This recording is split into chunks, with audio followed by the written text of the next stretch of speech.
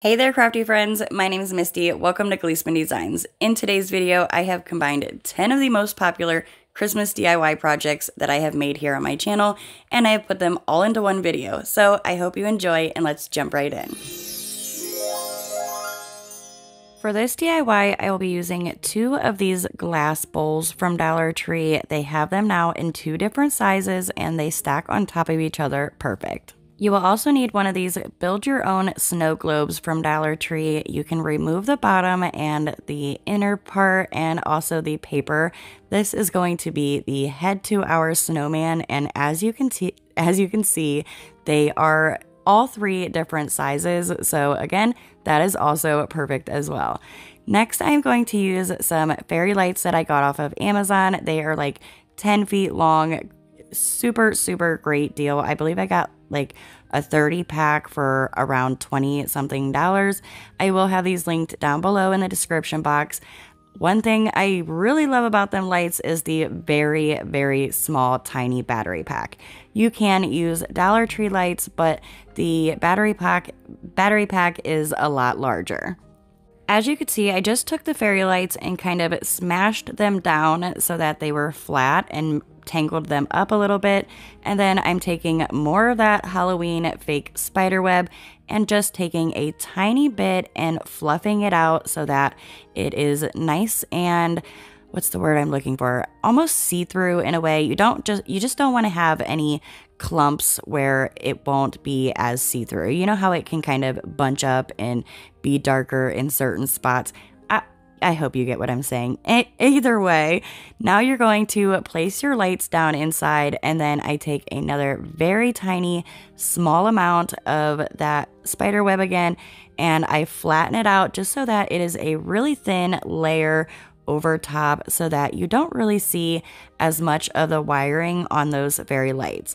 Then I take some of the Dollar Tree faux snow again and I just start placing it down inside the bowl, covering over top of that faux spider web, and this really gives a nice, pretty, snowy look.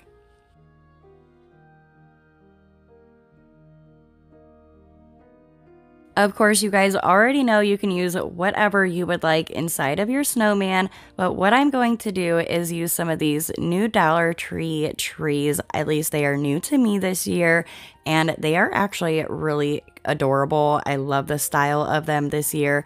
However, the larger one in the pack, because they do come in different sizes in this pack, and the larger ones are a little bit too tall so you want to take the two largest ones out and then use the rest of the other sizes. So also when you're adding your trees down inside you want to or if you're not even using trees you at least want to use something kind of tall like these trees here so that you can cover the wire and by cover it, all I mean is I'm placing those trees right in front of where the wire for our lights will And be. I did use my Gorilla Glue hot glue to glue the trees down.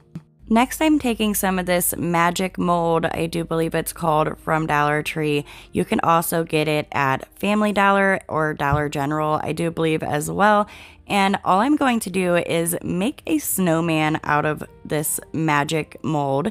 And this is kind of like a air dry foam clay, I guess you could say. And I just take it and roll it in my hands, making a few different size balls until I liked the size. And of course, making a snowman, I did make three different sizes and then I stacked them on top of each other. Once I had my snowman shape, I use a tiny little paintbrush. You could also use a paint pen for this. I use my black chalk paint and I just start painting on his face as well as his buttons on his shirt.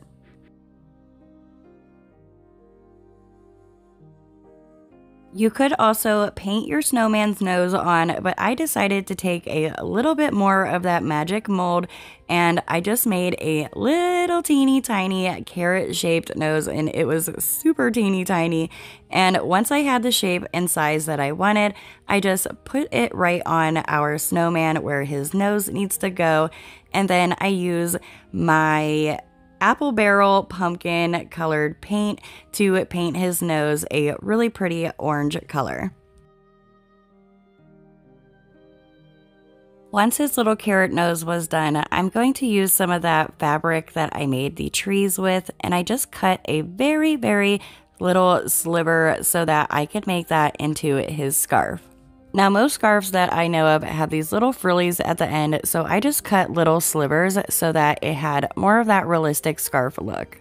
Next, I just place it around my snowman's neck how I would like it to be, and then I just add some hot glue and glue it down into place. Isn't he just so cute, you guys? I wish I had a little hat. I should have made one out of that magic mold, but that would have been so adorable. And now that my mini snowman is complete, I add some hot glue onto the bottom and then glue him down in here with the trees and our bottom to our snowman is done and we can work on the second layer, which I use the smaller glass piece from Dollar Tree and I do the same thing with the lights, the spider web, and the snow. Again, that's repetitive and I didn't think you guys would want to watch that all over again. So next I also add the trees. This I did want to show again just because you can also cut these trees down if you would like to, to have more sizes, I guess you could say. And again, you also want to glue them in front of the, the fairy lights so that it will kind of hide the string or the cord from the fairy lights. I also added a few more of these trees to this second part of our snowman than I did the first because I wanted to have kind of like the family is going and picking out their Christmas tree. So there is a bunch of little Christmas tree options. I want to add this little truck again so that it looks like they are going and picking out their Christmas tree.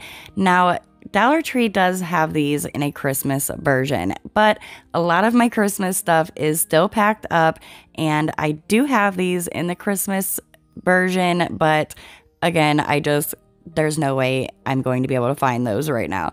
So I just took off the pieces to these fall ones and I'm going to turn it into the Christmas one myself. So I take my red chalk paint and I paint the little truck that is green. And I just really worried about like the main truck part. I did leave the top part of the tires green and the tires black, obviously. And then I'm going to use one of these little teeny tiny mini trees. I pull off the bottom of it and I kind of push the bristles down so that I can glue it onto the back of my truck and it will look a little bit more like it is supposed to be there. Of course, if you do have the Christmas little trucks, you can completely skip this part and go to the next step. Now because this little truck is kind of flat, I'm going to take the piece that I took off the bottom of the Christmas tree and I'm just going to add some hot glue on the side and then I glue it to the back tire and you can't even see it. It hides perfectly and it stands our little truck up. And now we also have more of a surface to add our hot glue. I add some hot glue on the bottom of that piece and then also on the front tire and I glue it down inside the globe. And then, of course, I add one more tree. Now our second layer to the snowman is done and we can move on to his head. For the head, again, we're using that build your own snow globe. And this piece in here can kind of be a little bit of a pain to come out. It's because it's supposed to be watertight so that you can build your snow globe. And I just removed that and then I'm going to pour a decent amount of that faux snow from Dollar Tree down inside the snowman's head. Unlike the other two layers to our snowman, I'm just taking the fairy lights and I just tangle them up and put them down inside and you again want to have that battery pack hanging out and you still can add your airtight piece, your bottom piece on even with that hanging out because it is so thin and you have this really neat snowman head that glows and has gorgeous snow down inside. I absolutely could not wait for this part, and that is building up our snowman. I take the Gorilla Glue hot glue and I just place it around the bottom layer to our snowman, place the second layer on top, wipe off any excess hot glue, and as you can see, I am making sure that the cords to our fairy lights are all facing the same direction and going down the back of our snowman. Then you are just going to hot glue your build your own snow globe snowman's head right on top. Here's a little sneak peek, and oh my goodness, how stinking cute! I love this DIY so much. I kind of wanted to go along with our mini little snowman, so just like with him, I made a scarf out of that fabric that I used to make the trees, the fabric from Dollar Tree, and then I'm going to loosely wrap it around his neck. Not super loose, but loose enough to where once you are done, you can slide your battery pack pieces up behind the scarf and then you will not see them. So once I had his scarf wrapped around, I just hot glued it down in place where I would like it. Then for the snowman's face, I just again used that black chalk paint and my little tiny paintbrush and I painted his face, his nose, and his buttons on as well. Now, for this snowman, I was able to find a hat, and they do also have perfect size snowman hats at Dollar Tree as well. However, this one was only 98 cents from Walmart, so I definitely grabbed it up because it is cheaper. And it was a pick, so I just pulled it off the pick and I kind of dented a little bit so that it looks a little bit more correct once I glue it on. And then I just add a little bit of hot glue and place it right on top of our snowman's head and this DIY is done.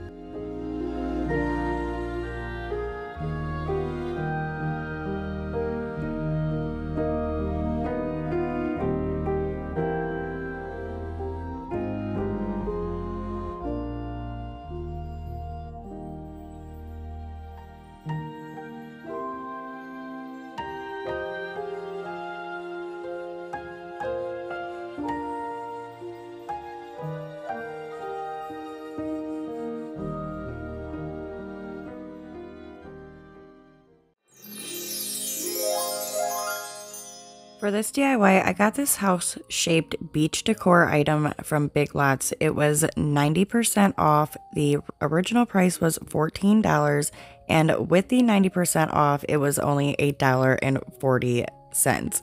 So I absolutely had to grab it and take it home. I mainly do Dollar Tree items, but I would love to branch out into and do other items from other stores.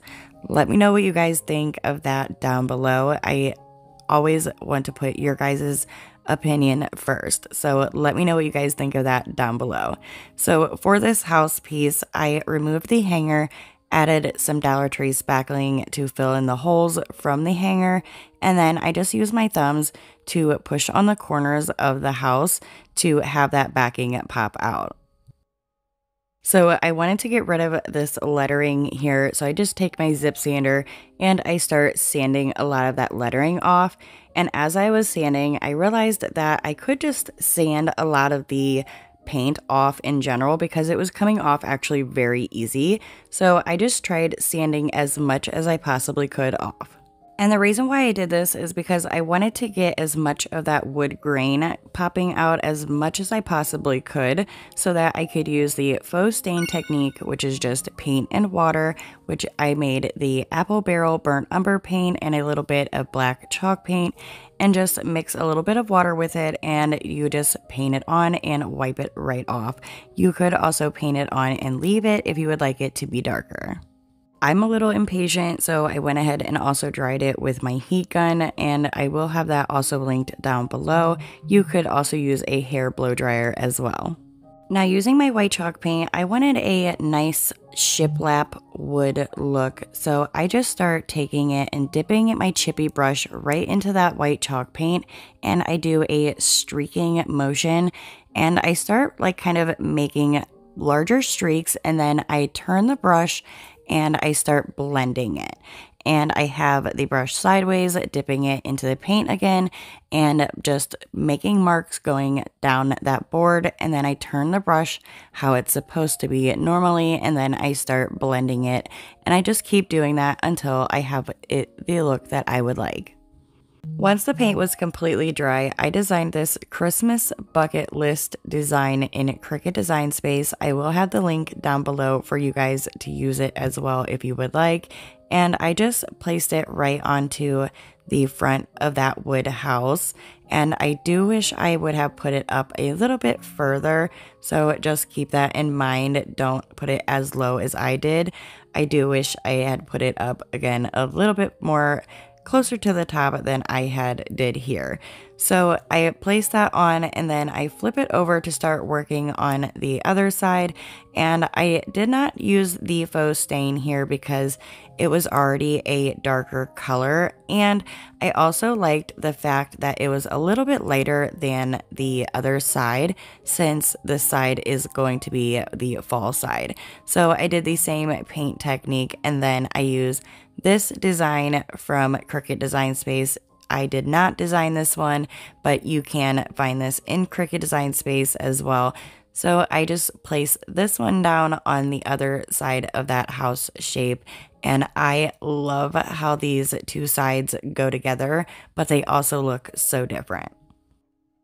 For the frame of the house, I want the front side, which is the Christmas side, to be really simple and modern, I guess you could say. So I use my black chalk paint and I paint the entire frame except for the back of the frame. So basically the front, the sides, and the inside of the frame, I go ahead and paint with that black chalk paint. The reason why I'm not painting the back of the house is because I want that to be our fall side and I wanted it to have this really pretty fall color, but I did not want it to be a bright fall color. And I found this Dixie Belle terracotta color so gorgeous. I just had to get it, and it definitely does not disappoint. Now, as you could see at first, I thought I was going to be able to freehand that and not get any on the sides where it is black, but I was not that confident in myself.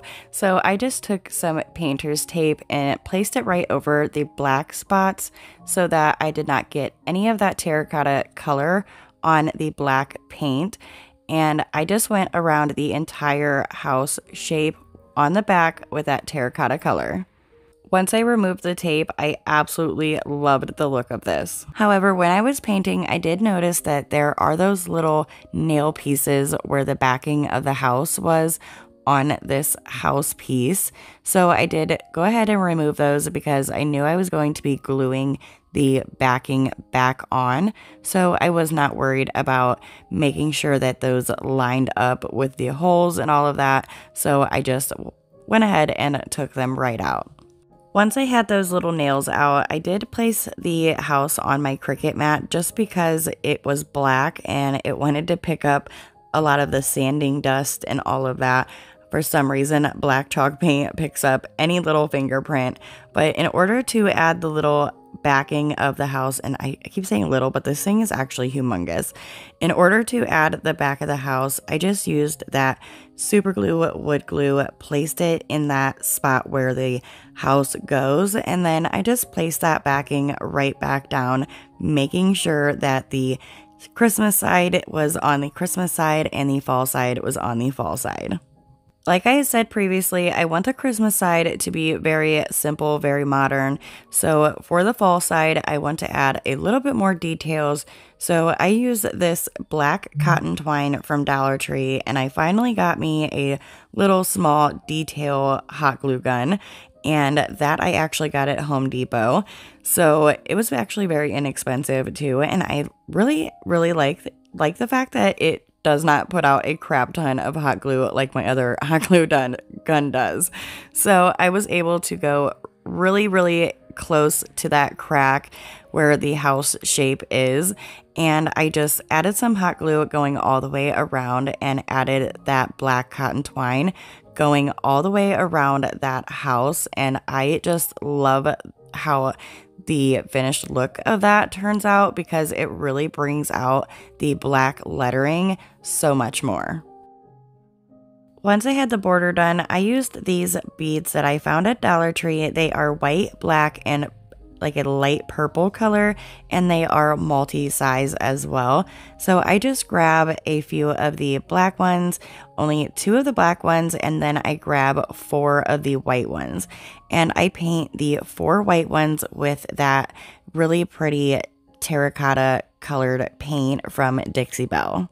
And once those were dry, I start taking one of the terracotta colored beads and I place it onto a piece of jute string.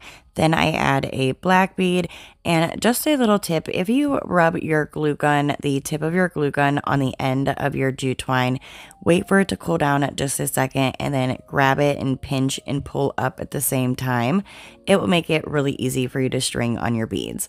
And then I just kind of alternated the colors on the beads and pulled them down to where I could fold the jute twine over and have them hanging at different lengths. And because of timing of this video, the length of this video is very long, even though we're not doing a lot of DIYs. So I had to not put the tutorial for the bow in there, but it is just a finger bow.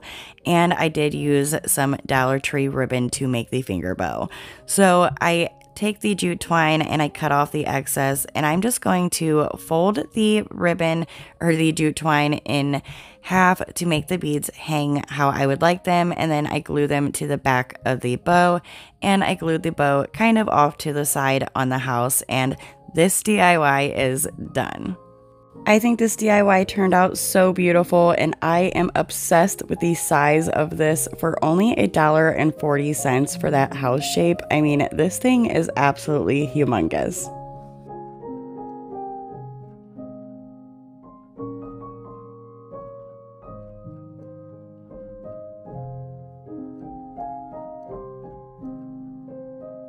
Okay, friends, I have got to know which side do you like better, the fall side or the Christmas side with the Christmas bucket list? Let me know down in the comments.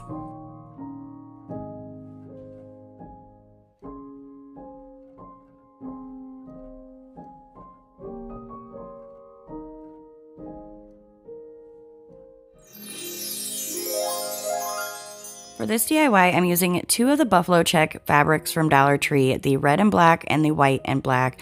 And I start off with the red and black trees first. So I laid the fabric out and I noticed that it had a lot of folds in it. And you want this to be nice and flat. So I did go ahead and fold it in half once and then iron it. Once I had the fabric all nice and flat and straight, I went ahead and used my ugly old yardstick and I started tracing out the size of the triangle that I would like my tree to be. You can make your trees wider, skinnier, shorter, or taller if you would like. It all just depends on your style and also how you fold your fabric. And if you don't like the triangle trees, you could also do this exact same technique that I'm showing you here for these styles of trees as well. And you can also get templates for the tree shape online very easily. Once I had the triangle traced out, I used my scissors just to cut out that fabric and it was still connected up here at the top, which usually doesn't happen, but apparently I didn't get my tip close as I should have to the edge, but that is okay. You just want to start hot gluing your fabric face to face, and when you add your hot glue, you want to add it as close as you can to the edge of your fabric as you possibly can get. And you only want to add the hot glue just to the sides going down the tree. You want to leave the bottom completely open. I didn't show it because it's just repetitive, but I did do two of these trees, so I repeated these same steps one more time. I do recommend making sure that you let your glue completely harden and set before you start turning the fabric right side up. So I just set it to the side and started working on my next tree, which is the white and black, really large tree. And I love this tree. The size of it just gets me every time I look over at the set. I they are just adorable. And to make this tree larger, all I did was turn the fabric a different way, making sure that it is still folded at least once so that when we cut our triangle out, we are getting the two triangles and you just trace a larger tree or a smaller tree, whatever you would like. Then just hot glue the fabric face to face like you did the previous tree and once your hot glue is completely set, you can start turning your trees where the fabric is facing the right direction. You can use your scissors or the end of your paintbrush to kind of push that tip all the way up so you have your nice pointy top to your tree. By all means, if you are a sewer, you definitely can sew these trees, but the seams on these trees are pretty good for just some hot glue. When it's time to start stuffing your trees, you can use so many different things. For instance, I'm using some fake spider web that I had left over after decorating our house for Halloween, and I just start taking the fake spider web and stuffing it up inside the tree. You could, of course, use polyfill or whatever you would like to stuff your trees, but this is what I had on hand and it worked absolutely perfect. Once you have your trees to the fullness that you would like, all you're going to do is fold the fabric down here at the bottom, overlapping each other, and add some hot glue just on the corners. You want to leave the center still open so that you can add your tree trunk and you will close that later on. But again, you just want to add some hot glue on the sides, leaving about an inch hole down at the bottom. I repeated the same steps and stuffed the other two trees, and I am already so excited for how this DIY is turning out. For the trunks to the trees, I'm using these really long skewer sticks that I found at Dollar Tree. You can use dowel rods or whatever you would like, but I found these and I thought that they would be a great option because you can make your trunks really long if you would like to. I wanted to have mine in three different lengths, but only one of these skewer sticks would be kind of weird looking as a trunk because it is so skinny and these trees are so large. Well, I cut them in three different sizes and cut three of each size so that I can kind of glue them in clusters. And then I use my antiquing wax to just stain them so that they look a little bit more like a tree trunk color. Now, because my trees are so large, I also need a support system going up inside the tree, so I left one of the skewer sticks nice and long so that I can cut it down when I need to, and I also stained that as well. Okay, now here's where I do the tree trunks. I know it was probably kind of confusing when I explained it earlier, but I'm going to take two of the same size. Again, I cut three different sizes and three of each size. And then I'm just going to glue those three together just like I did here, where I take two of the bamboo no, skewer sticks. Yeah, they are bamboo skewer sticks. I take two of the bamboo skewer sticks and I glue them together, adding some hot glue down the center, and then I take that third one and add it on there as well. So now they are all three glued together and we have a thicker tree trunk. To make the support system that goes up inside your tree to make sure the tree stands nice and straight, I'm taking that long bamboo skewer stick that I also stained and I'm going to cut it so that it is quite a bit longer than the actual tree trunk. I want to make sure that it goes at least halfway up inside the tree. And then once you have that piece cut, you can glue it to the tree trunk just like you did the rest of them. And this will also make the tree trunk a little bit thicker as well. For the other two tree trunks, I did the exact same steps, cutting that bamboo piece so that it is longer than the actual trunk and will go at least halfway up in the tree and then glue it to the tree trunk. Once you have all three of the tree trunks made, you can start placing them inside your trees. And all I do is just start putting them in the hole that we left open and did not hot glue closed. And you might have to kind of wiggle your polyfill or your spider web, whatever you have down inside until you kind of get the tree trunk where you would like it to be. And then you're just going to take your hot glue gun. I do add a little bit of hot glue down in the center on this one for whatever reason. I don't do it to the other ones, I think, because I found it kind of unnecessary. But I do also take it and add it to the seam where the hole is just to kind of close that up, and your tree trunk is nice and secure. I repeated the same steps with the other trees, and you can also shove your tree trunk up inside your tree more if you would like it to be shorter, and you can also pull it out a little bit more if you would like it to be longer.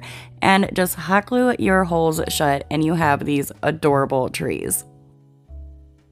So at Dollar Tree the other day, I found these amazing wood slices. They come in a two pack, they have two different sizes in the pack, and they are perfect little stands for our trees. To attach the trees to the wood slices, I used some of the Dollar Tree Super Glue Wood Glue, again, amazing product, and some hot glue. And the hot glue that I use is the Gorilla Glue Hot Glue.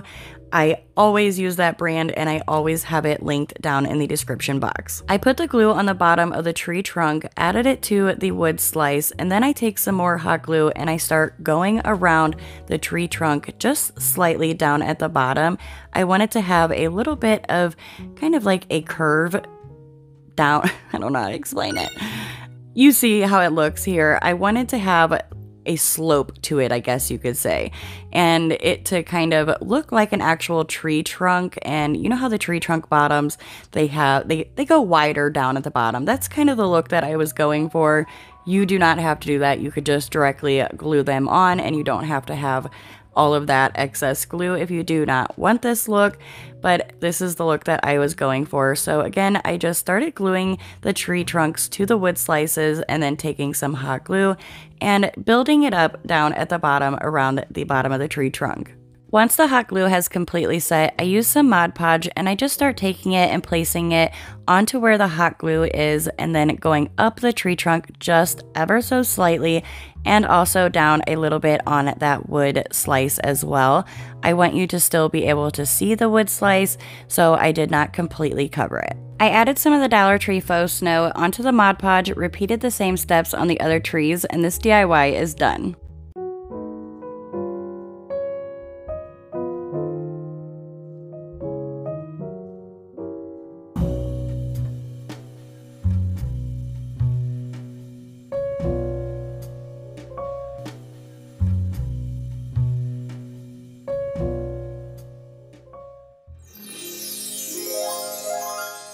Okay, friends, this DIY really is super simple, and I did make something similar around springtime, and it was a huge hit. So, when I had seen this recent item at Dollar Tree, I knew I had to do one for Christmas. I start off with a foam wreath form from Dollar Tree. It definitely has had better days. I've had it for quite some time, and I'm going to use some red chalk paint and a little bit of black chalk paint it does not have to be this exact color. You just want to take the wreath form and give it a nice coat of a red paint.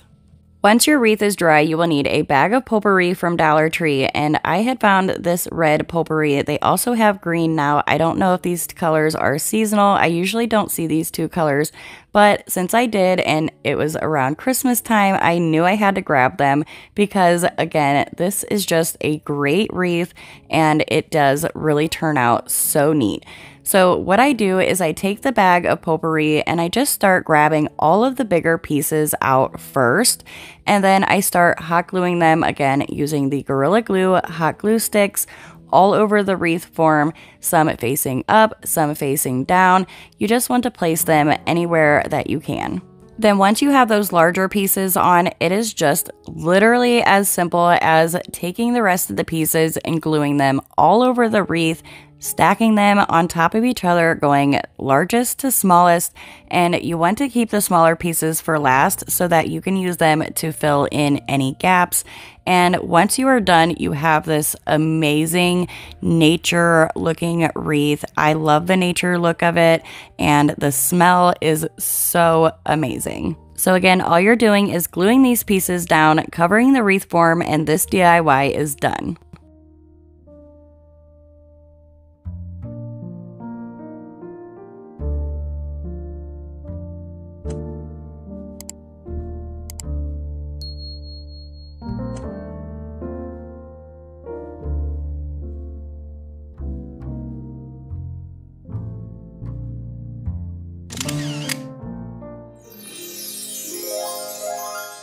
For this DIY, I started out with the tumbling tower blocks from Dollar Tree, also known as Jenga blocks, but all I did was take the super glue wood glue from Dollar Tree, which I've said it in previous videos, and I will say it again, that super glue wood glue is amazing. So I just add a little bit of the super glue wood glue and a little bit of hot glue onto the Jenga block pieces and then I start just gluing them together until I have seven Jenga blocks glued together.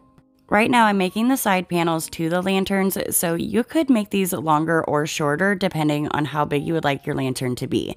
But once you have seven of those glued together, you want to make four of those total, so therefore you will have four rows of seven Jenga blocks. The seven Jenga blocks glued together is for the larger lantern. For the smaller lantern, I glued five Jenga blocks together instead of seven.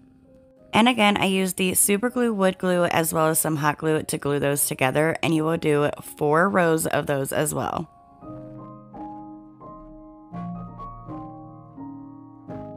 Once all the Jenga block pieces are glued together, you could leave them like this, but I personally like to use the Dollar Tree spackling to go over the Jenga block pieces just to make it all nice and smooth so that it doesn't look like it is a bunch of game pieces glued together and it really looks like a nice long side panel. Again, this is just personal preference. You could leave them exactly how they are and start painting them, but I personally like to take this extra little step just to give them that really clean finished look. Once the spackling was dry, I do take my zip sander and just sand it down just a little bit more to make sure that it is all completely smooth. Now that I have all of them sanded, I just take my white Rust-Oleum chalk paint in the color Linen White and I paint all eight of those side pieces. So Dollar Tree has many, many, many different options on what you could use for the tops and bottoms of your lanterns. I've made so many different lanterns and I believe they were all literally everything was from Dollar Tree. So trust me, there's so many different things. For these lanterns, I'm using these wood boxes from Dollar Tree. They do come in three different sizes and they have these cute little like metal label holders on them and I just remove them with a little screwdriver and I'm going to do that to two of the larger boxes and two of the medium sized boxes. I do not need any of the smaller boxes at all. So again, you just need two larger and two medium boxes. Then I take the white Rust-Oleum chalk paint in the color Linen White yet again and I paint all of those boxes as well. To start assembling the lantern, I'm using the longer pieces first to build the larger lantern and I added some of that super glue wood glue as well as some hot glue again and I just glue that longer piece to the inside corner of one of the larger boxes. I repeated the same steps with the other three longer Jenga block pieces, adding the super glue wood glue as well as the hot glue and gluing it to the inside corner of the larger box. I do want to point out you want to make sure that your label holder piece that you're going to be screwing back on is facing the way that you want it to be, which is hopefully facing forward. Add some glue to the top of the top of the Jenga blocks and then you can place that second box right on top and you have this already nice lantern shape. And then I do the same exact steps yet again for the smaller lantern, which is taking now the five piece Jenga block pieces and gluing those to the inside corner and then making sure I place that smaller box right on top and gluing those pieces to those corners as well. I want to add kind of like a second layer to these lanterns. So I'm just going to use one of these square, they're really nice and chunky. It is just a decor piece from Dollar Tree. It has a beautiful saying on it, but I do have several of them. So I was okay with taking this one apart, but it does have a little bit of a stubborn burlap on it if I would have maybe got it wet or even used my heat gun, it probably would have came off so much easier, but it still wasn't too much trouble. But then I did find out that there was these little tiny nail pieces that held that saying on there, so all I did was just pull those out. Now, because that burlap was on there, it did leave these little hairy pieces glued down on here, so I did just use my zip sander to sand any of that off. And once I had that nice and smooth, I painted it the same color as all of the rest of the lantern, which is the Rust-Oleum chalk paint in the color Linen White. And you guys, I'm just going to say it now, that is the white paint that I used the entire video. So I'm just going to say white chalk paint from here on out. That larger piece is for the second layer of the larger lantern. This little small Halloween decor piece is the second layer for the smaller lantern, and it was only a dollar at Walmart, but it was marked down to 50 cents. So I did get that for 50 cents. But again, Dollar Tree has many options that you can choose from. I did not have to paint the entire piece with the white chalk paint, but I did just go in at the sides and on top so that you could not see any type of color and it all looked completely white. Now for the tippy tops of our lantern, I got the Christmas lantern around Christmas time last year, but the black lantern that is for Halloween, I did just get within the last few weeks around Halloween this year. So all I did was pop these really nice curved tops off. And this part is kind of funny. I just had to leave it in there. Okay, so I got out my hot knife because they do have these little tabs to hold them onto the second larger part of the lantern. And I thought for some reason they were going to be kind of hard to come off. So I was just like, well, we'll bust out the hot knife and it'll be super easy. And then I was like, wait a minute, this is even taking longer than probably just cutting them off with my scissors. So let's see if that'll work. And yeah, it worked so easy. So just cut off the little tabs with your scissors and do not worry about the hot knife. Once those tabs are cut off, you have the perfect tops to your lantern, and I did try and take them outside to spray paint them because they are plastic, and I just hate trying to actually hand paint plastic. But it did not work out because the paint I was using was more of a satin, like not matte finish at all. So I just came inside and painted them with the white chalk paint. Then I use my favorite bamboo sticks. You guys see me use them all of the time. I literally ran out in this video and I was so sad, but I'm definitely going to be getting more very soon. I have to. They are just a staple in my craft room. I painted several of those white as well, and then I'm using that little tiny square piece that is the Halloween decor piece, and I glue one of the tops to our lanterns right on there, and look at that. I mean, that is a perfect fit. You cannot get any more perfect than that. Now, the second lantern, which is the larger lantern, I wanted it to have a little bit of a different look. So I chose something a little bit more big and bulky for the second layer. And then I glued that top piece from the other lantern right on top of that nice bulky piece that we painted white. And I just love the look of these and they just are perfect tops to lanterns. And if you want the ring to stand straight up, you could just add a tiny bit of hot glue to the side and it will stand straight up. Then I take some of that Dollar Tree spackling again and I just go over any of the parts where you can see any creases. And again, you guys, this is just personal preference. Again, it is such a clean finished look. I always try and do this with my pieces because I really enjoy the finished piece. Look at how perfect that comes out. You cannot even tell that that was two different pieces. To create the X's on the sides of the lanterns, I take those bamboo sticks that I painted with a white chalk paint and I just cut them down to size, hold them up to the inside of the lantern where I would like them to be, and then I just glue them into place. You could also use dowel rods to create these X's. You do not have to have these bamboo sticks. I just personally like them because they are kind of flat instead of round. So they they're just not as bulky and they just come in handy so very much. So whatever I did to the larger lantern, I also did to the smaller lantern.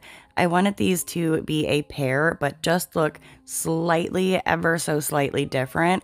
So again, I just cut those bamboo sticks down to size, and then glued them inside the lantern, creating the X's on both sides.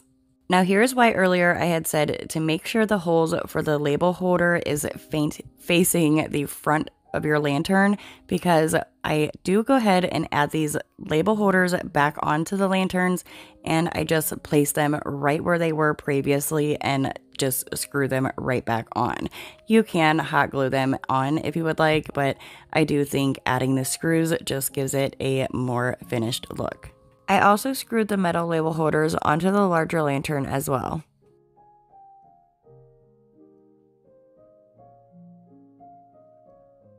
Now to put the tops on the lantern, and I did forget to mention earlier that those plastic lanterns that I took apart for the tops are from Dollar Tree as well. I started with a larger lantern first and I added some hot glue onto the bottom of our bulky piece and then placed it right center at the top of our larger lantern. And once I had that one on, I did the same exact steps to the smaller lantern, placing hot glue on the bottom of that little Halloween piece that has our lantern top on it and placing it center on the smaller lantern. Again, because I like that nice, clean, finished look, I did add some of that Dollar Tree spackling in those cracks as well to give it a smooth finish. So while I was at Dollar Tree the other day in the Christmas section, I found these cute little wood shape angels and my first thought was they were adorable and my second thought was those would make perfect little feet or legs to home decor or whatever you would like to put on them. So I decided to pull off those little paper wings. They came off super super easy and then I used that again white Rust-Oleum chalk paint and I painted all of those little angels, which were now our little feet, to our lanterns. And I did end up painting eight of those so that I could have four on each one of the lanterns. So I do add some hot glue onto the bottom, and I always use the Gorilla Glue hot glue sticks.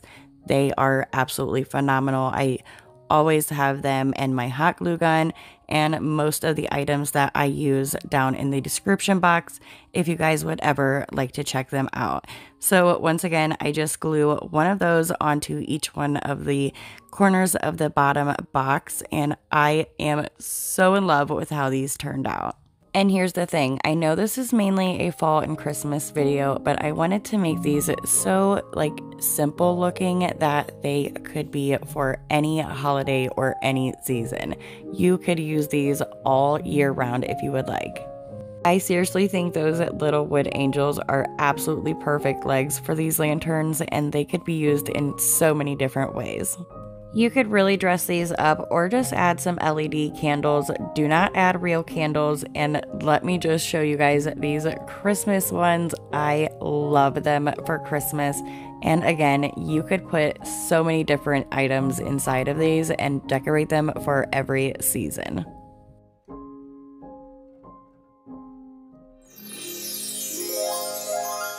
For this DIY, I found this wood piece in the trash. Yes, you guys, I know it was sitting on the side of the road. And listen, after seeing some of the beautiful things that Sammy from Unicorn Dust Designs has done with things that she's grabbed out of the trash or off the side of the road, I had to grab it because once I seen it, I knew exactly what I wanted to do with it. One, the pieces were already starting to fall apart, so I didn't have to feel bad about ripping that gorgeous piece apart. But they also have the peaks, which are perfect for the project because you will need those peaks. So if you have any extra picket fence pieces, or you could also look on Facebook Marketplace, they have tons of free wood just like this, and you can do it this exact same project. I used my zip sander to sand all three of these pieces down so that you would not get any splinters. And you do want to have the rough, you know, rustic, natural look to them, but you don't want to obviously get hurt. So I just sanded them down and then you're going to take two of those picket fence pieces, place them together, and then you're going to take your third one and place it on top. Then move it up a few inches you can make it taller or shorter if you would like. Then I just use my yardstick and trace down where I would like to cut down those two pieces that are on the bottom to get our church shape.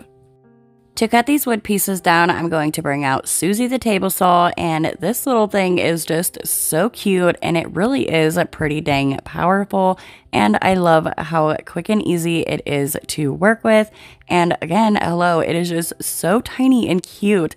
I got it off of Amazon, and I will definitely have the link down in the description box if you guys would like to check it out. Once I had those pieces cut down, I was going to leave this red piece here this color because it's kind of Christmassy already, but I did have a vision in mind, so I had to get there and I used the white Rust-Oleum chalk paint and I just did a heavy dry brushing on all three of these wood pieces so that they all looked the same. To start assembling the church, I flip the smaller pieces over to the back. Then I'm going to take a piece of wood from Dollar Tree and I just marked it where I wanted to cut it and it was pretty much just in half. Then I use a lot of super glue, wood glue, which I did not mean to use that much. And I'm going to glue those two pieces, one at the bottom and then one closer to the top, just to keep those two church pieces nice and secure. Then I take the longer piece and I add some more super glue wood glue as well as some hot glue and you're going to glue that right in the center in between those two first wood pieces creating the church. On the peaks of my church, I want to create a roof, so I'm using these jumbo craft sticks from Walmart. You can also use the Dollar Tree ones as well, and I'm going to do a faux stain, which is just water and paint, and I mix those up until I like the color. And then I just start painting it on just like you would any other stain. And I do do the front and back of these two craft sticks. Once the craft sticks were dry, I used my scissors just to cut off the rounded edge. You can keep that rounded edge if you would like. I wanted a straight edge and then I just hold it up here at the peak so that I can kind of see how much I wanted it to hang off on the side of the roof. And then all I do is cut down four of those pieces so that they will fit on all four of the peaks, these two up here, as well as the two down on the bottom part of the church. Then all I do is use my hot glue gun and I just hot glue all of those roof pieces onto the peaks of our church. Once the roof of your church is on, it will look like this. And next I'm going to be using this amazing wood rub-on transfer from Dollar Tree. This gorgeous brown wood. It looks so real. They also have like a white shiplap look as well and also a darker, almost like a black wood. And I've used these rub-on transfers in this fall project here and these wood wood rub-on transfers are amazing. As you can see, I left the backing on the transfer. Then I'm going to place it facing down on my church and I use my yardstick and pen to draw and trace out a really tall pretty grand door. I wanted it to have a curved top, so I used my paint to kind of give it a curved top to it. I did go in and curve it just a little bit more, and I also did make it a little bit more narrow and not so wide as you can see here in just a moment. But once I have the door traced out, I do go ahead and cut it out with my scissors.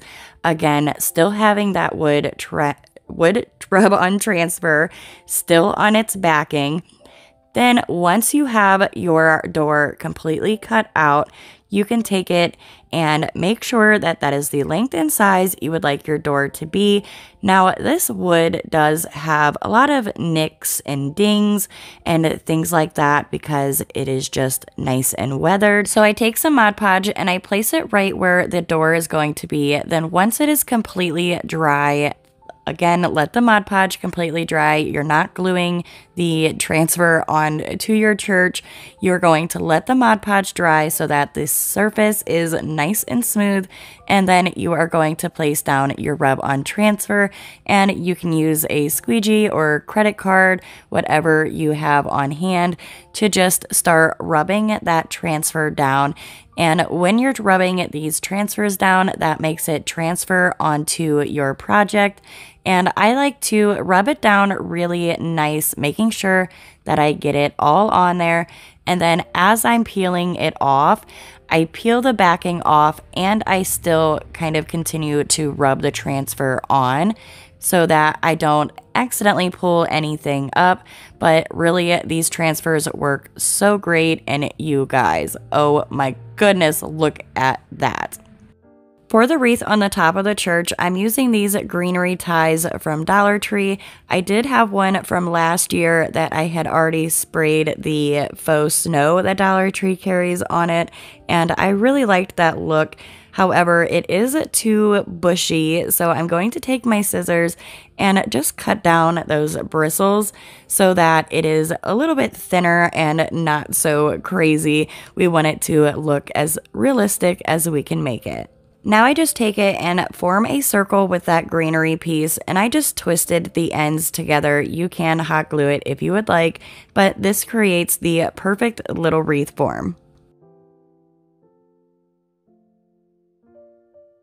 I want to add some little red berries to this wreath, and Dollar Tree carries these pipberry garlands, and you can pull the berries right off. They are usually on a string to attached to one another, and all I did was pull a few of them off. And then I'm just going to cut off the string that is holding two of them together, add some hot glue onto the wreath, and then I glue those little berries onto our little wreath and I place them in like little clusters or pairs, I guess you could say, and I do a few pairs going around the wreath form. Once I had my berries glued on, I pulled this bow off of another Dollar Tree ornament and I did cut down the tails to the bow to make it a little bit shorter and I glued it right onto our wreath. Adding the wreath onto the church is super simple. Find out where you would like to place it, add some hot glue onto the back of the wreath, and glue it right down in place. Oh my goodness, how adorable is that? You can definitely leave it just the wreath, but I also pulled a, another greenery piece with a pine cone and some berries off of another Dollar Tree ornament, and I glued it up at the top of the door, kind of like an over the door swag. Once I had all the greenery in place, I wanted to create a cross at the top and I ran out of these bamboo sticks a couple days ago, but I found a spare one that I had spilled coffee on and I knew I'd be able to use it eventually and it definitely came in handy today. You could also use a craft stick or even a popsicle stick to create the cross as well. So all I did was cut that bamboo stick down into two pieces and I glued the two pieces together creating that cross shape. And then I use the same faux stain that we used on the roof, which again is just the paint and water mixture. And I stain the cross the same wood color. Now all you have to do is glue the cross up here at the top of your church. Okay, so last minute, I decided I wanted to add a drape, more, I guess, for looks than anything, but it also it does have meaning to it. So I'm going to take some Dollar Tree white fabric. This is a crafter square product, and I just cut a piece. It's probably about a quarter of an inch wide, and I would say maybe three or four inches long. And for the drape, I wanted to have these dovetailed ends on either end, so I just fold the fabric in half and then I cut at an inward diagonal angle, and it will give you these really nice dovetailed ends. Then you are going to take your drape and you are going to add it to the cross, placing either end of the fabric back behind the cross, hot gluing it down, making sure that the loop is in front of the cross so that when you fold it over, it will look correct. Then add some hot glue and fold your drape down and look how amazing that turned out.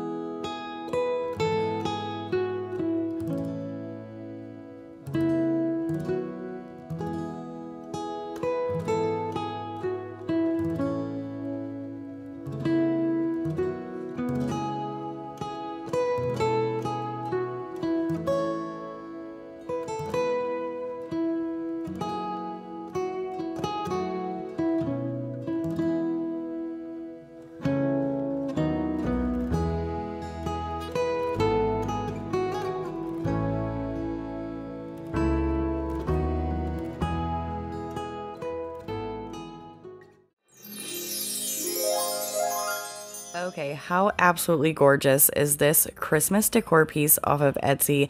I had to recreate it and I knew exactly how. So I'm going to start with some Dollar Tree tumbling tower blocks and I use the super glue, wood glue, as well as some hot glue. And I glue two of those tower blocks together end to end. And I do that one more time with two more pieces. Then you're going to take the two sets of tumbling tower blocks and you're going to glue them in a T shape.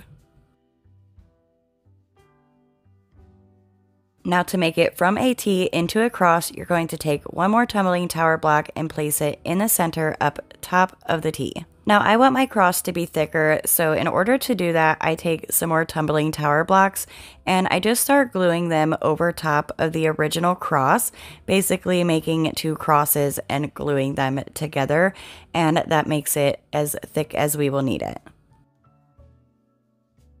Now I have a nice thick wood cross that is also going to be the T in my word Christmas. For the other letter blocks, Dollar Tree carries these thicker pieces of wood and I place it right underneath where the T is and I mark it so that I can cut two of those because those are the S and the M in our word Christmas and you need those to be the biggest.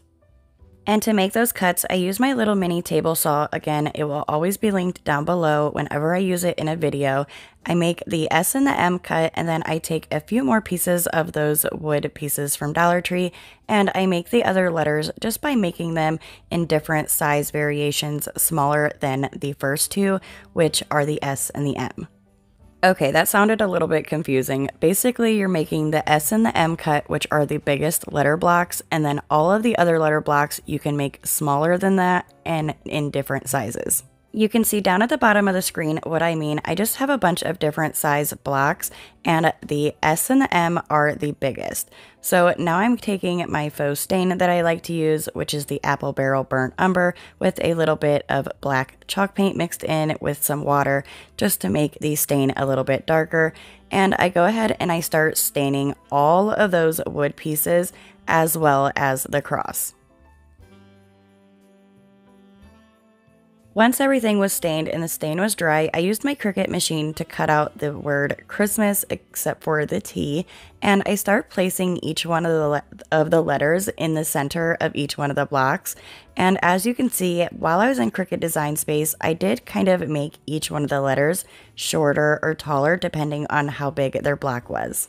So basically, depending on how big the wood piece was, that was how big I made the letters. And since they are all different sizes, I also made the letters different sizes as well, because that's exactly how it was in the picture. Once I had all the letters stuck onto the pieces of wood, I take my white chalk paint and I do just kind of do a heavy dry brushing across the entire wood piece. I left the top blank because once you remove the sticker letters or the vinyl letters, you can see that really pretty wood color showing through and the top makes that pop, I think, a little bit more. But unfortunately, I do kind of mess up and get some on the top of one. So I just kind of figured I would go ahead and start painting the tops and have it all that white distressed look. But what I do is I paint over the sticker letters and again that will make it so that once you reveal the sticker letter and pull it off, that wood will show through. I like to take my Cricut tool or even a pair of tweezers and grab the sticker letter or vinyl letter and peel it off before the paint dries. Now, because I use that bare chalk paint and it's really not the best, at least in my opinion, I do go over it really quickly each block before I peel the letter off with one quick coat of that white chalk paint, just so that it is a little bit, I guess, more covered than it originally was. And seriously, look how gorgeous that looks with that wood color peeking through the letter. Repeat those steps with the rest of the letter blocks, then you're going to spell out the word Christmas, putting the letters in the position that they go, and this DIY is done. I think this DIY is beautiful and so meaningful as well, and it also looks amazing next to our larger church that we did in the previous video. Etsy website, I found these gorgeous stick trees with this gold glitter on them, and I knew I had to make some, so I grabbed some Dollar Tree poster board. It does not matter what color you are using, you can use any color. I folded mine in half and then I'm going to start cutting it down that center because I do want to make two different size trees. And I'm going to start placing this poster board into a cone and I just start wrapping it up at one corner and forming that cone shape. If you have not made the cones before, they are fairly easy and if you do not get it the first time, just unravel the poster board and try again. Once you have the cone shape that you like, just hot glue it into place and cut off the excess. Now these cones are going to stand up super funky and to fix that problem, you want to smush it down, flatten it completely flat and cut straight across. And then you want to turn it 180 degrees and cut again straight across after you flatten it out. And to get it back into that circle shape, I just start folding it and making a crease between each one of those creases that I made from flattening it down. You can also just keep cutting it until you have the cone completely straight at the bottom and will stand up. I made two of those cones as you could see and then I just went out to my yard and grabbed a whole bunch of sticks. Then using my miter shears I start cutting a bunch of the sticks down into little size pieces around an inch to two inches, some even a half inch. You will need to cut quite a few pieces of those sticks, but once you have a bunch cut down, you want to start taking them and hot gluing them together going around the cone. You are not gluing the sticks to the cone itself. You are just gluing the sticks to one another going around the cone shape. I start with forming a circle down at the bottom of the cone, then I need to start working my way up, so I need to start getting some height. So I just take two pieces of stick and try and kind of form a triangle with it, but without a bottom, and I glue it to that circle on the sticks that is on the bottom of the cone. And I do a few of those going around, and you can kind of work with adding sticks leaning up against those and then, you know, taking a stick and placing it to where it connects one side one stick to another. You're just going to keep placing them going around, kind of filling in gaps and connecting all the sticks together as much as you can. Honestly, it's probably easier to just watch than actually have someone explain because it really is just super easy. All you're doing is covering the cone with sticks, but not gluing the sticks to the cone. You're gluing the sticks to each other and working your way up as you go.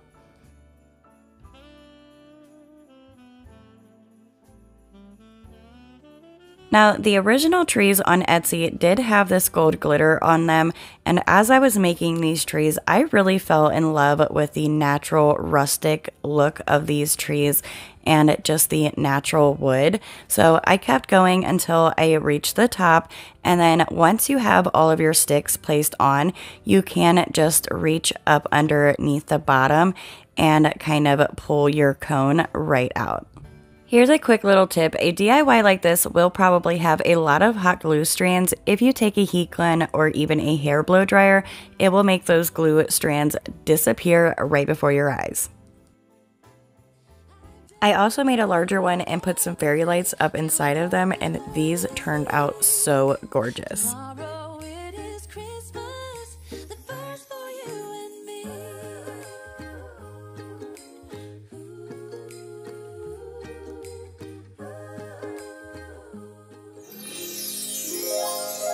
Are always a big hit during the Christmas season, and I just adore these Christmas gnomes with the greenery, so I wanted to try my hand at making my own. I love all the different styles Etsy has to choose from, but Liz Moore from Liz Moore Decal and Decor here on YouTube also made some gnomes that I thought were really, really adorable, so I'm going to kind of incorporate a little bit of that style as well. Just like we did with our stick trees, you're going to take a Dollar Tree poster board and form it into a cone shape. And once you have the size cone that you would like, keep in mind that is how tall your gnome is going to be. And then you just glue it into place and cut off the excess. Now just flatten it just like we did previously. You want to completely squish your cone, cut it down at the bottom going as straight as you can and then turn it to its side, flatten it down again and cut off as straight as you can and that will definitely help keep your bottom round so that your cone stands straight up. And again, to get my cone back in that circle shape, I do just crease in between each of the original creases from where we folded. I repeated the same steps with another poster board from Dollar Tree, making it shorter and smaller this time. It really doesn't matter what color your poster board is because it will mostly be covered anyways. I'm going to start off with the larger gnome, and I found these snow greeneries from Dollar Tree. There's two separate kinds, and I love these. They are one of my favorite picks that I have found recently. And as you can see, they kind of are in groupings, like a set here and a set here. And there's like a space in the center. So what I did is I took two of them and I kind of overlapped them so that each space was covered. So again, just basically taking two pieces of the greenery and overlapping them so that the spaces are filled in by each one of the pieces of greenery. I repeated this step using two pieces of greenery each, making three bundles total. Now I take each bundle of the greenery and I start hot gluing it to our cone, except where I make sure the greenery just barely touches down at the bottom and kind of meets with the bottom of our cone. I just keep placing the greenery down where I would like it. Once I have it in place and it is low enough, I start hot gluing it in place, and I do that with all three of the sets.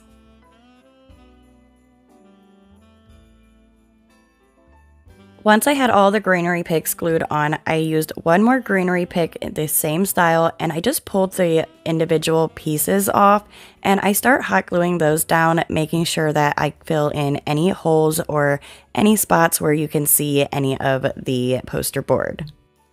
And with all the greenery pieces glued on, you have this beautiful full greenery beard and this looks so high end to me. I really love how natural these look. For my gnome's hat, I'm using this Dollar Tree placemat. It is buffalo check on one side and then it has a black fabric on the other. And you can kind of take the two pieces of fabric and start pulling them apart. So then you have more like a pillowcase. It is just two fabric pieces sewn together. And at one end, you're going to want to take a pair of scissors and just make a hole big enough to slide over the cone.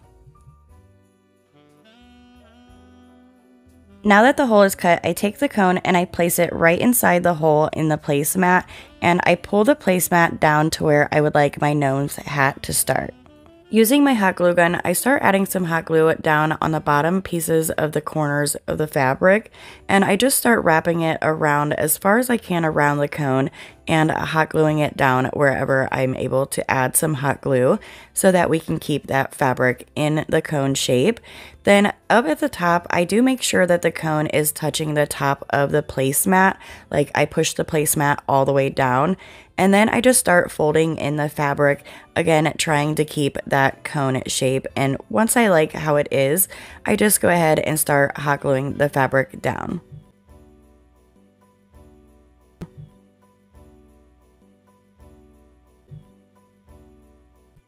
Next, I want to create a brim to my gnome's hat, and I just love burlap and buffalo check together, but the burlap ribbon that I have is a little bit too wide, so I just add some hot glue in the center, fold it over once to the center, add some more hot glue, and fold it over again on the other side, and you have a thinner, also not so see-through piece of burlap. I do want to mention that if you look here on the screen, Dollar Tree carries these rolls of burlap. This will work as well, but I just wanted to use the same burlap that I used on the other gnome, so that's why I used this burlap instead.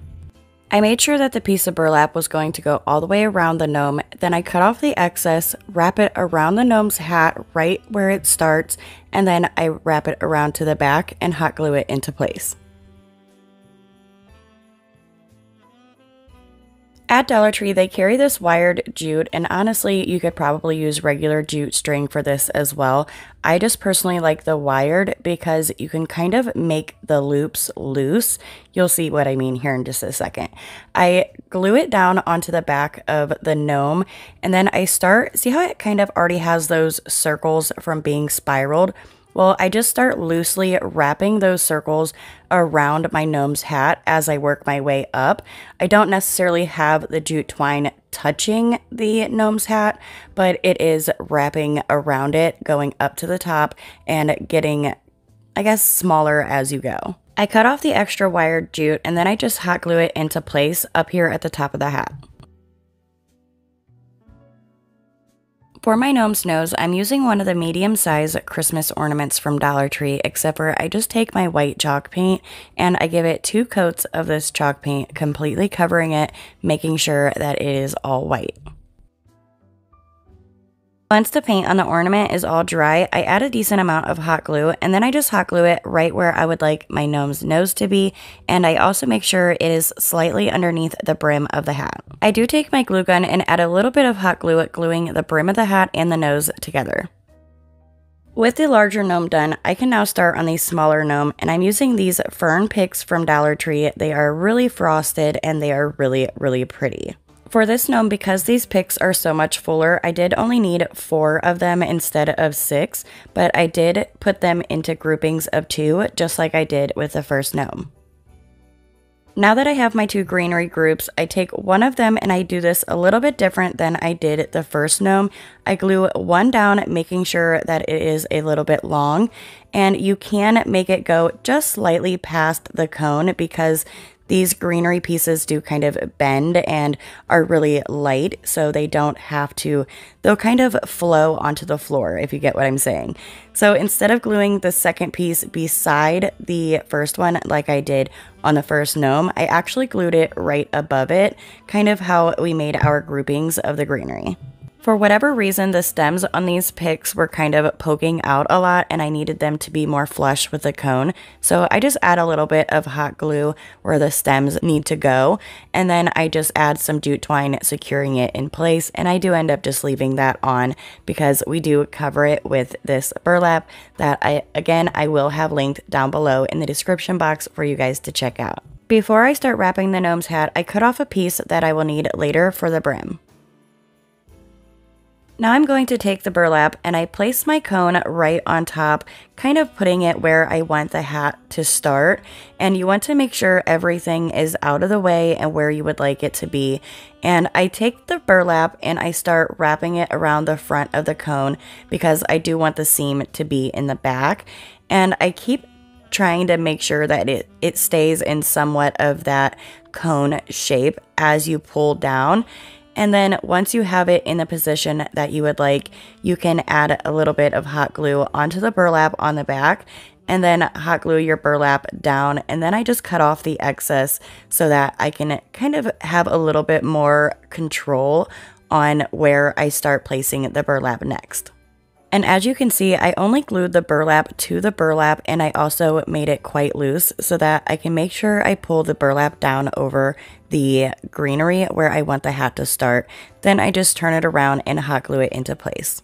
I then take that roll of burlap and I start wrapping around the cone one more time. I do kind of double it up because you can pretty much see through burlap. So I want this to also have that saggy, oversized look. I really loved that look when Liz did hers. So I'm going to just add a little bit of hot glue here and there on the cone and then glue the fabric to it after I bunch it like up and together here and there. I do this in a few different spots. I also will take the fabric and or the burlap and hot glue it together and just kind of pinching it together here and there just to give it some wrinkles and some more texture. I simply keep doing these steps over and over until I wrap the entire cone, which does not take very long. You're just going to want to make sure that as you are wrapping, you are getting tighter and smaller as you go so that you still keep that cone shape.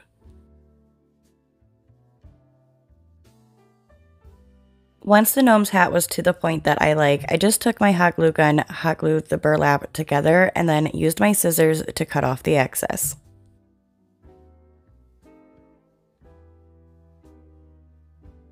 Now I take the piece of burlap that I cut off earlier for the brim of the hat and I make a brim just like I did with the previous gnome.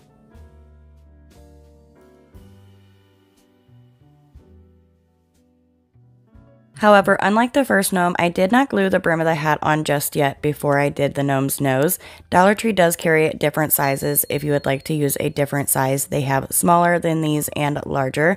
I did not paint this one, I left it that red color. And then once I left Once I glued the gnome's nose where I would like it, I took the brim of the hat, placed it onto the cone where I would like the brim of the hat to be, making sure that it is overlapping the gnome's nose just a little bit. I turn it around to the back and hot glue it into place.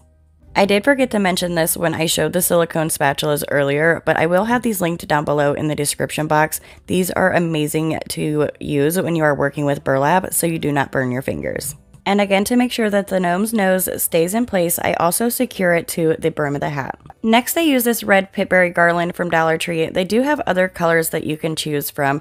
I just add some hot glue on the end of the garland, glue it to the bottom of my gnome's hat, and then I start wrapping it going up my gnome's hat, but as I wrap it, I do do it somewhat loose, just like I did with the wired jute. Once I have the pip berry garland how I would like it, I cut off the excess and add some hot glue up at the top and just glue it at the top behind the gnome's hat.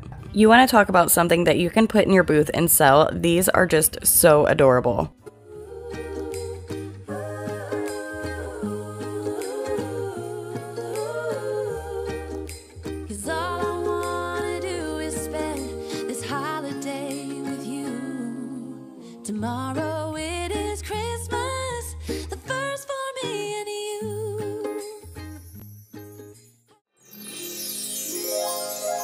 For this DIY, I will be creating the box shape with these wood pieces from Dollar Tree. I'm going to be using two of those as well as two of their pallets that they have. And I'm just going to place them just like this, but the wood pieces are a little bit longer than I need them to be, so I just use my cute little saw that I have shown you guys in previous videos. It is from Amazon, and I will have the link down below in the description box if you guys would like to check it out, is absolutely adorable and it really does work great. So I just cut about a half inch off of those longer wood pieces and then they fit absolutely perfect. So then I used the Dollar Tree super glue wood glue as well as some hot glue and I started placing those longer wood pieces right up against that inner wood piece on the inside of the pallet. Then I did the same steps with the second wood piece on the other side of the pallet. Then to add the second pallet onto the other side, you just add the glue on the inner side of that wood piece and then slide it right on and you have this perfect like box shape. For the bottom, you could really use any Dollar Tree sign, any MDF board sign will work, and any foam board from Dollar Tree it will work. All I do is just take the wood piece, place it on top, and trace it out, and then you can just cut out the bottom with an X-Acto knife. This long board from Dollar Tree, it was a long Valentine's Day sign. It fit absolutely perfect. All I had to do was just cut off the one end. Once I have it cut off, I do go ahead and sand it down just to make sure that it is nice and smooth. Then I use that super glue wood glue again and some hot glue and I just place it onto the bottom of our wood piece, turn it around and then glue it right to that bottom board so that now we have a bottom to our wood piece.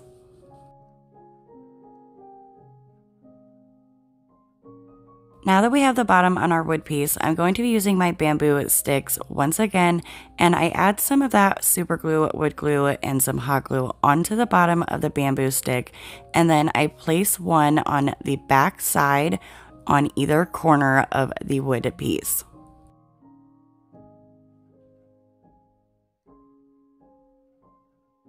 Next, I take another one of those bamboo sticks and I just hold it up to the top of those wood pieces, make sure that I have the size that I need, cut it off, and then I'm going to use some of that wood glue and a hot glue and glue it right to the top of those bamboo sticks.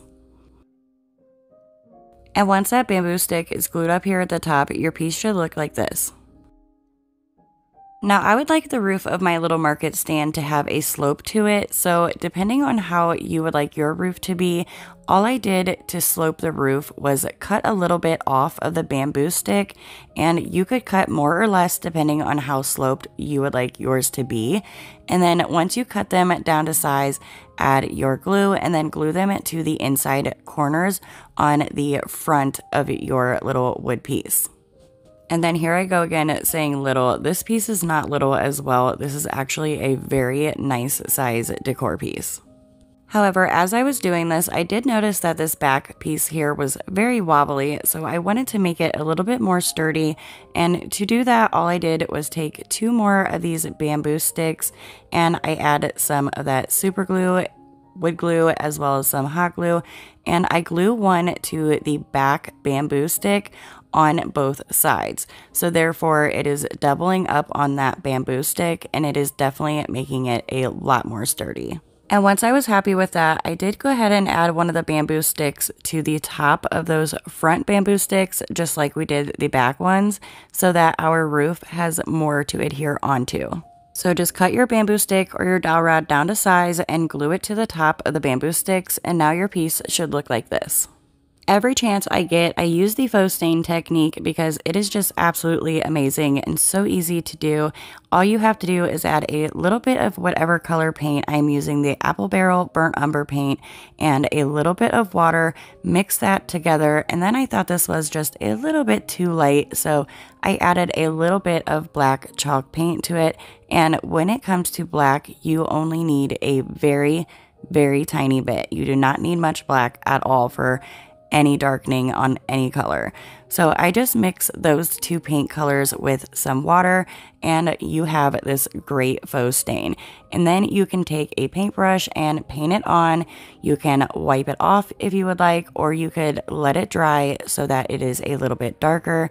And you can control how light and how dark it is by the amount of water or the amount of paint that you use.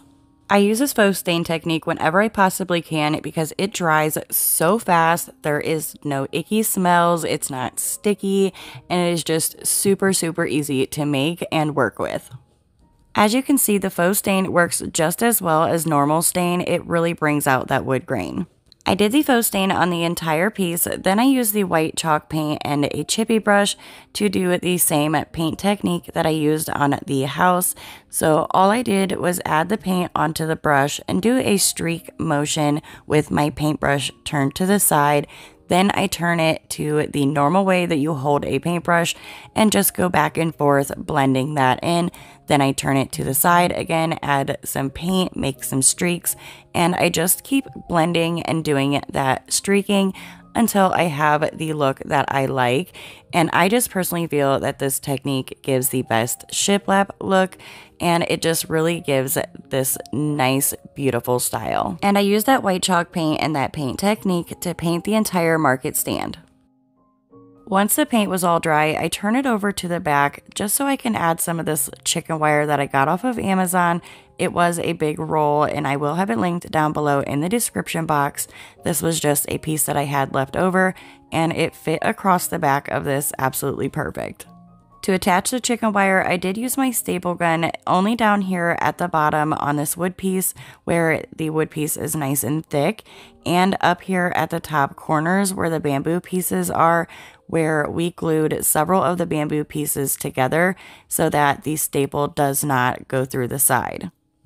So once again, I only use the staple gun up here at the top corners on the bamboo sticks because this is where it is nice and thick. I then just used an old pair of scissors to cut off the excess chicken wire, but I do want to make it a little bit more secure on here and attach that chicken wire just a little bit better. So I take some of these bamboo sticks that I had painted white and I just cut them down to size and I start gluing them along the back side of those bamboo sticks so that I'm smashing and sandwiching that chicken wire in between the bamboo sticks. Not only is this attaching the chicken wire to the stand a lot more, it is also going to make it look a lot more finished. After I attached those three bamboo sticks, I went ahead and started working on the roof. And for the roof, I'm using these galvanized metal plaques from Dollar Tree. And these worked out absolutely perfect. And I do want to say that they also come in a black and a copper color. I wish I would have not used my black ones already, but I went ahead and used these beautiful galvanized metal looking ones and all I did was count down three rows and then just bend it going straight back. And I did that to both of those metal plaques. Once you have both those bent back, you can go ahead and attach them by adding some hot glue or E6000 to one of the plaques and then placing one on top of the other, making sure that the grooves line up. Also, please be careful when using hot glue, the metal can get very hot. These metal plaques actually have four holes in them, but once you glue them together, these two holes will be remaining that is visible and they are absolutely perfect where they are at, so don't try to cover them up. You will need them later on. To attach the roof, I wanted to make sure to use some really strong glues, so I used E6000 on the higher back piece and the Gorilla Glue hot glue on the front piece. Now take the roof and slide the piece that you bent back up against the piece with the chicken wire and then attach the front to the front bamboo sticks and you have the roof to your market stand. And once I had it in position, I did add some of the hot glue on the back part as well where I added the E6000 just for some extra immediate hold. And here is how it should look once you have the roof on and it is absolutely adorable just like this. But if you would like to make the interchangeable signs, I'm just taking a piece of a wood plank from Dollar Tree and I mark it down to the size that I thought that I would like the sign to be. I do cut it down a little bit more a little bit later on once I realized I made it still a little bit too big. But all I did was use that wood piece, mark it down to size, and use my box knife or utility knife to cut those pieces off. And you just score it a few times and bend it back and forth and they will snap right off. And you do not have to have one of these wood boards from Dollar Tree. This is just a board that was hanging on a piece of jute string. They do have them in several different sizes, but you could also use foam board, another Dollar Tree sign. They also even have wood pieces that come in a pack, little wood planks. Those would be perfect for this as well. Once my sign was cut and sanded down, I used the faux stain to stain it as well. And I do make two of these because I make the tree sign as well as the pumpkins. And it is the same step, so I didn't want to repeat that. But I do want to let you guys know to make two of these signs if you do it the same way. For the first sign, once I had it all stained, I'm going to be using these stencils that I got off of Amazon. They are a Christmas stencil and the price was amazing for the size and how many stencils you get. And the detail in these stencils are so amazing. I just had to share them with you guys. Amazon did have some photos of what some of the stencils looked like as if they were done already. So I do have some of those popping up on the screen. But look how gorgeous these are, you guys. These are so perfect and they work really, really well. And you guys already know if I like something, I will definitely leave the link down below in the description box so that you guys can check them out and see if you like them as well. So the link for these stencils will be down below in the description box. You guys, to be honest, I would love to do a video where I use these stencils for a bunch of different DIYs. So if that is something that you would be interested in or would watch, please let me know down in the comments because that would be so much fun. Just going through these stencils gives me so many gorgeous ideas. However, for this little sign, I'm going to be using this Farm Fresh Christmas Trees stencil. Of course, I cannot fit everything on here, and actually, I did even have to move it around a little bit to get everything that I wanted to fit on here to fit. But all I did was just place the Farm Fresh where I wanted it, used my white chalk paint and a foam brush from Dollar Tree, and I just stippled that on, let that dry, and then I'm going to place the trees up a little bit closer towards the Farm Fresh than it actually is on the stencil add some white chalk paint to that as well. And then I do the same with the Christmas trees, where, well, the word Christmas trees is I just move that up and I start adding the white paint, filling that stencil in. And you guys, look how amazing those stencils worked out. And I really thought maybe there was going to be some bleeding because they the price was just so great and you do get so many and for that price they're really big. So i was just really surprised by how well they actually worked. And here is where i do decide to kind of cut the sign down just a little bit so i didn't have that much excess on the side. Then i use my zip sander to sand the sign down quite a bit on all of the sides just to give it this more of a like rustic farmhouse distressed vibe. And here is how the Farm Fresh Christmas tree sign looks once it is finished. And for the fall sign, like I said earlier, I did the same thing to that piece of wood, stained it so that we have our sign, and then I use the fall stencils also off of Amazon. These are also so gorgeous and there's so many DIYs that you could do with them. And again, they are for an absolute great price. Just like with the Christmas stencils, Amazon did also have a few pictures of these stencils as completed projects. So as those stencils pop up, I will have those pictures popping up as well so that you can kind of get the feel of what they look like as a completed project. And I will have links down below in the description box for both the Christmas and the fall stencils. If you do not know how to find the description box, all you have to do is click on the title to the video and the description box should pop up. You might have to click see more in order to see links or any other details, but the title should make the description box pop right up for you. Of course, for the fall sign, I chose the Farm Fresh Pumpkins stencil and I just stenciled that on just like I did the Christmas one. I did choose to do the pumpkin and the greenery except instead of the pumpkin word just because I personally liked the look of that better. I also went ahead and sanded the edges and I love the way that these signs turned out. For the welcome banner up at the top of our market stand, I'm using this burlap banner that I had gotten at Dollar Tree. It was in the wedding section. I really like that lace looking detail on there. It is really pretty. And you also get a really long piece of jute twine with it so that you can create the banner. So you also do get quite a few of these burlap pieces. It says 12, but I swear there was way more than 12 there. I should have counted, but I didn't. But let me tell you, you get a lot for $1.25, so it is definitely worth it.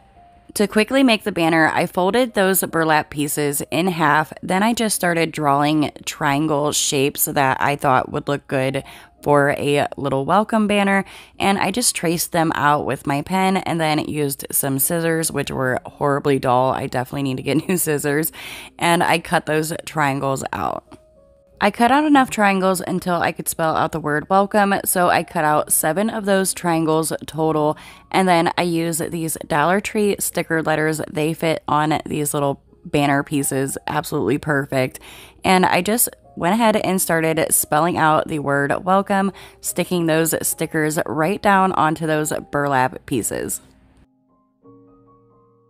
Once I had the word welcome all spelled out, I cut off a piece of that jute twine that originally came with the banner set and I taped it down on my desk so that I could grab each individual triangle piece and add a little bit of hot glue up at the top of the banner and I start gluing them down spelling out the word welcome. And for whatever reason I did not use my detail glue gun here and I used my glue gun that shoots out a whole bunch of hot glue.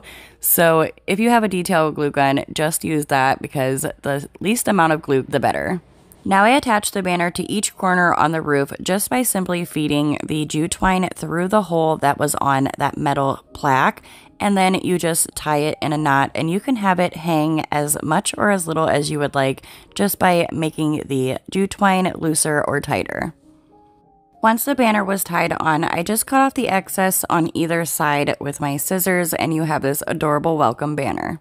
It does look really cute without the signs, but if you would like the signs, all you have to do is use these fastener dots from Dollar Tree. They are Velcro, and two of them will stick together. They have kind of like a corresponding Velcro piece that will stick to it.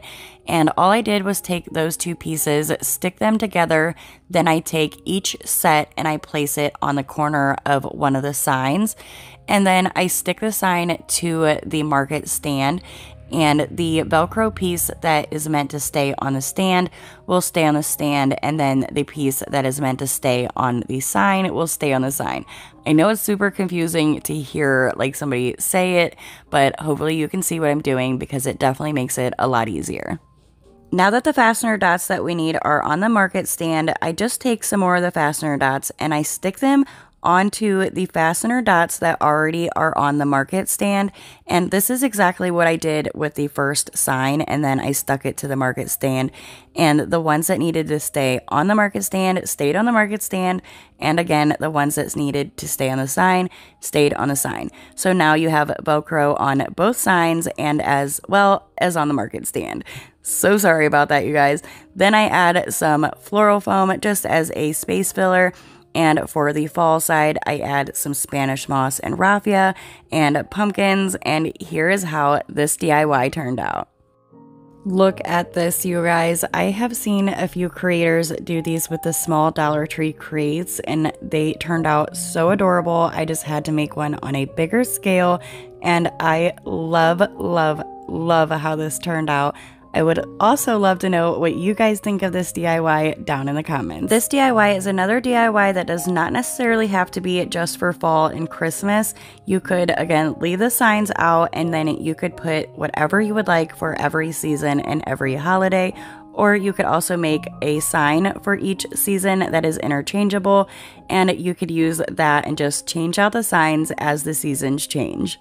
Now, you guys know how much I love fall, but something about these Christmas trees just really get me in the cozy winter vibes. I love this DIY with the Christmas trees. All I did was add some faux snow down inside and then added the Dollar Tree Christmas trees in a bunch of different varieties and sizes, and this is absolutely gorgeous. This DIY is definitely by far my favorite, so I had to save the best for last. I'm using one of these 18 inch pieces of wood from Dollar Tree as well as three Sherwin-Williams 5 gallon paint stir sticks. I started by cutting the handles off of the paint stir sticks just by using my miter shears at first, but that was quite difficult. So for the next step of cutting, I needed to cut this paint stir stick in half. So I just used a marker and marked the halfway mark and instead of using my miter shears, I'm using my little mini saw. This thing is so cute. You guys know I love this saw so much and it works so well. I mean, you can cut a Jenga block like butter. So I cut those down so that they are both the same size. Then I'm going to take the 18 inch piece of wood and the paint stir stick that I only cut the handle off of. Again, you're going to cut the handle off of all three of the paint stir sticks. Then I just take one of the paint stir sticks, add some super glue, wood glue, as well as some hot glue for immediate hold, and then I glue it right to the center of that 18 inch wood piece. I do want to mention I will have a link down below in the description box for the little mini saw. I personally got it off of Amazon, but you can get it at lots of hardware stores like Home Depot, Harbor Freight, or even places like Walmart will have something similar. I personally like shopping on Amazon because with me being an above knee amputee and not having a prosthetic leg, I walk with crutches and it is really hard for me to get out and about to the stores. Anyways, back to the craft. So I take the paint stir stick that I cut in half and I start gluing it to either side of the paint stir stick that I glued on top of the 18 inch wood piece. Once I have the sides glued on, I start adding the super glue wood glue as well as hot glue, and I do get the super glue wood glue from Dollar Tree and it works amazing. I add that to the top of the sides and then glue the third paint stir stick on top. To make this even sturdier, you could use a glue like E6000. I use the Gorilla Glue hot glue sticks. They work phenomenal, but I did want to try and make sure it was a little bit more sturdy. So I was just going to shoot a few brad nails inside the frame, but I did not realize I was out of brad nails. So instead, I take a Dollar Tree skewer stick and I just measure it where each of the corners are on the frame and then I cut it down to individual pieces, which I needed four of those pieces. I start adding some hot glue onto each one of those little dowel rod pieces. I'm not sure if they were dowel rods or skewer sticks. I believe it was a skewer stick, but either way, a Dollar Tree dowel rod will work as well. And I add enough hot glue so that it will adhere to both of the paint stir sticks when I place it up in the corner on each four corners so that it really adheres all of the pieces of the frame together. Now that my frame is built, I use my black chalk paint and the chalk paint, I don't think I mentioned what I'm using. It is the Folk Art Black Chalk Paint. It is a very, very dark black. Normally I only have to use one coat and that's exactly what I did with this project as well. I just did one coat on the entire frame. At Dollar Tree, they've had these picture hanging kits for quite some time now, and they really are nice. They have different size nails and wire and just different things that you can use to hang pictures with. And for $1.25, I think it really is a great deal. Also inside this kit are these little loop screw hooks I'm so sorry. The name is totally slipping my mind. Let me know down in the comments if you know the name, and I will try and remember it this time. However, I'm going to take four of these hooks. You can use more or less depending on the size bulb you're going to use or how many Christmas bulbs you're going to hang. As you could see, I just turned the frame upside down and started screwing one of the hooks on either end making sure that I have it spaced out evenly or as even as I could get it by eyeballing it. You could definitely measure this as well, but I just went ahead with eyeballing and screwed four of those hooks in total. You could leave the hooks gold if you would like, but because I'm displaying this in my home this year, I don't have any gold in my home decor, so I used the black chalk paint that I used for the frame to paint the hooks as well. Now the frame is complete and we can start decorating. You, of course, can use whatever, any kind of Christmas bulbs that you would like. You can use sentimental ones. I think that would be a adorable idea to display any sentimental Christmas bulbs that you might have. Maybe your children's little baby Christmas ornaments that you have. I know I definitely have one for each one of my children. But either way, what I decided to do was take these. This is a pack of Christmas ornaments that I got from Dollar Tree, and the tops were gold. So again, I did decide to take the black chalk paint and paint those black as well. Then I'm going to take the black cotton twine. Once again, this is also from Dollar Tree, and I'm just going to start tying pieces. And I did not measure the twine, I just made sure it was longer than what I needed, but I just simply tied the cotton twine onto the Christmas ornament and then I made sure it had a nice long tail or piece of the twine hanging off and I cut off the excess. And I did this with two of the red and white Christmas ornaments that I got from Dollar Tree. The next two ornaments I will be using are these really neatly shaped matte black Christmas bulbs that I got in a pack from Walmart. It was a really nice size pack for a great price, at least in my opinion. And just like with the Dollar Tree bulbs, I added the black cotton twine so that I could hang the bulbs on my frame. To hang the bulbs on the frame, I lay the frame on its side and then I just pull up the cotton twine and place the bulb where I would like it to hang. And once I like the position that it is in, I just tie the cotton twine right to that hook that we screwed in at the top of the frame. You could use anything that you would like to hang your Christmas bulbs. I think using fishing wire would be so neat because it would also make it look like the bulbs are floating in the air. When hanging my Christmas bulbs, I alternated the styles and then I also made sure that they were different lengths as well. You can make them hang all at the same level if you would like, but I made the black bulbs hang a little bit lower than the red and white bulbs and all I did was simply just tie them where I would like them to hang onto the hooks. Once I had all my Christmas bulbs hanging on the frame where I would like them, I want to add some greenery on top and I really love the greenery that is on this grapevine garland that I got from Walmart. I don't remember the price, but I do know that it had to have been a decent price because I don't buy anything if it is horribly priced. So I know it was definitely worth the price.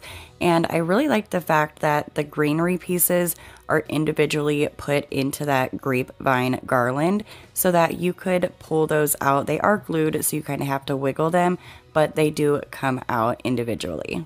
I used four of those greenery picks and I used two at first, placing them so that the ends are intertwined together and then I just take those two and place them up at the top of my frame, making sure that I can get it as centered as possible.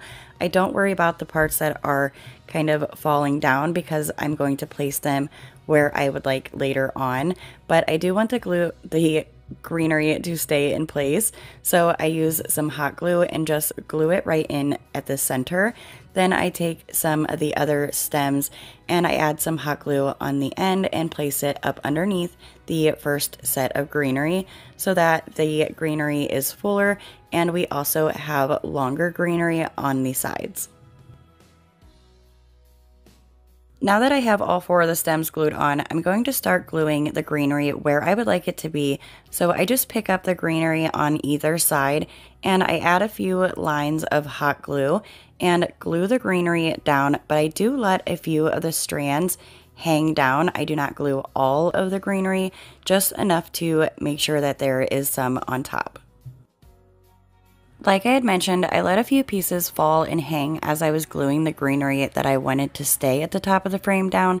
So then I can just take those pieces that are hanging and I just add hot glue here and there, placing those greenery pieces exactly where I want them to hang on the frame. Now that my greenery is where I would like it, I add some hot glue to the center of the greenery and add this buffalo check bow that I made a while back but never used. I wanted to incorporate a little bit more white to go with the white that's already in the ornaments that I used. So I used the bell off of this door hanger. I liked the size of it and the fact that it was a matte white. So I just cut it off and then hot glued it right to the bottom of my bow. Now, I didn't really care for how you could see hot glue in the greenery back behind the bow, so I just took another little piece of that buffalo check ribbon that I had used to make the bow, and this was made with Dollar Tree ribbon. And I wish I had the footage of me making the bow. I do believe I made it last year, but anyways, all I did was cut a piece off and then hot glue it to the back of the bow so that it has a more finished look.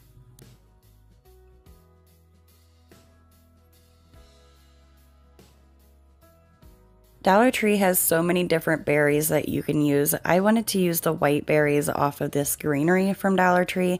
They do also have a red berry greenery just like this. So it was really easy to just pull these little foam berries off. And I just pulled enough off so that I could take a few and just hot glue them where I would like to up in the greenery. I didn't do too many, just a few to really bring out the white in the project. Once I had enough berries to my liking glued on, this DIY was done.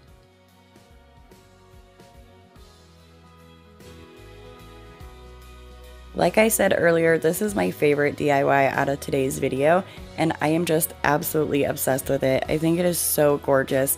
And again, if you have any ornaments that mean something to you, how beautiful would this be to display them? I truly hope you all enjoyed these DIYs as much as I enjoyed sharing them with you, if you would like, please consider hitting the subscribe button. I would love to have you in our crafty family and hit the bell notification if you would like to be notified when I post new uploads. I hope to see you all and a few new friends on the next one. Bye!